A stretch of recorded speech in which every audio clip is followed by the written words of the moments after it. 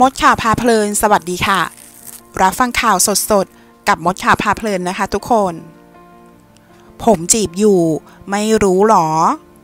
ก็พูดถึงริชชี่นะคะ หลังแฟนๆ ให้จีบกันค่ะ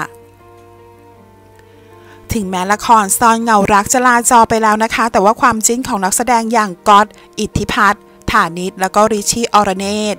ดีคาบาเลสนะคะ ยังคงไม่จบแถมดูเหมือนว่าจะมากขึ้นเรื่อยๆเลยทีเดียวค่ะ และมักจะมีโมเมนต์สุดน่ารักออกมาให้แฟนๆได้จิ้นแล้วก็ฟินกันหนักมากนะคะ จนแฟนๆแอบเชียร์แอบลุ้นให้คบกันเป็นแฟนจริง ๆ แต่ไม่รู้ว่ามีลุ้นหรือเปล่านะ ก็คงต้องรอติดตามทั้งคู่กันต่อไปนะคะ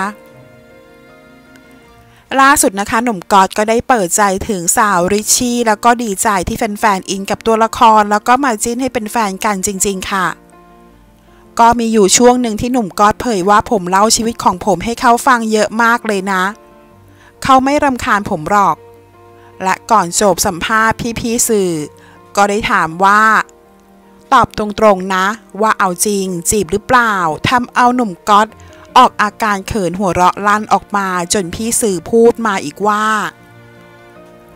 เราว่าจีบเขา แต่เขาไม่รู้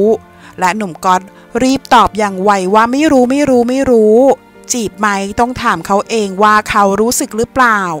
พี่สื่อก็เลยแซวว่าถ้าริชเองรู้สึก ก็คงจะจีบไปแล้วใช่ไหม ใช่แหละ ดูออกว่าเขินหนัก จีบอยู่ไม่รู้หรอ งานนี้ค่ะจิ้นฟินเวอร์ค่ะน่ารักจริง ๆ นะคะสำหรับคู่นี้ ขอขอบคุณข้อมูลจากสยามท็อปปิกค่ะ